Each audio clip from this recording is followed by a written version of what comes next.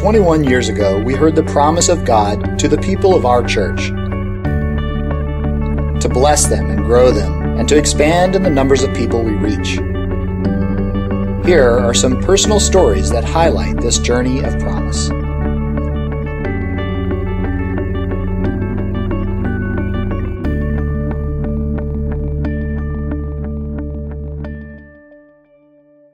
My name is Margaret Leschuk. This is Ruth Edwards and Joanne Ashton, and we are all kindred spirits.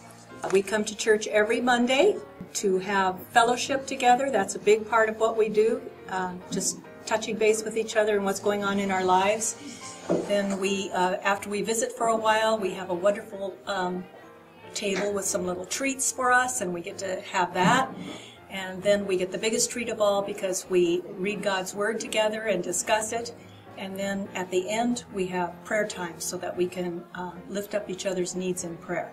I was one of the first original, in the first original group, and uh, Nancy Payton was our leader at that time. And we met in the manse um, that was available to us. No, And as the church grew, we progressed to different rooms and uh, we are now here in um, this room, and uh, we have uh, around 45 to 50 ladies that belong to our group.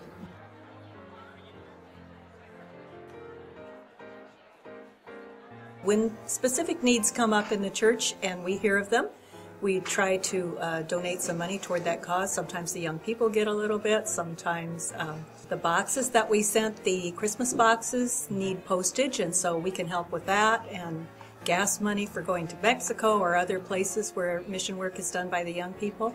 So we try to just plug in to little things that we can accomplish to help the cause along. It's great to have this room at church to meet in the Westminster um, room. We used to meet up in the education room, but we outgrew it. And when we outgrew that room, we brought Jesus with us. There's a picture of Jesus, and we made sure that Jesus came down with us.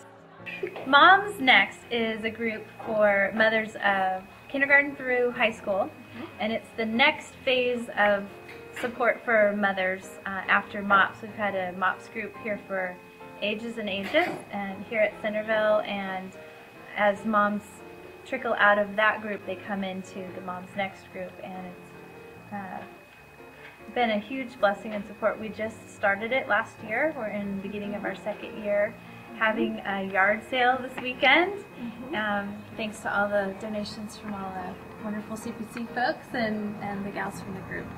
Our mantra, so to speak, is that no mom alone, um, because mothering matters, and it's through here that we can reach moms um, for the glory of Christ, uh, right where they uh, need to be reached, so they can be equipped, uh, empowered, um, lifted up to know that what they do really matters um, for the future and for God's kingdom. And we've just been tremendously blessed by CPC. We see God's hand uh, in it all the time. Mm-hmm. And um, what a wonderful way to serve the Lord, um, to be in the front row of His stage. We are just so honored um, that God can use us for this ministry. Can't thank Him enough.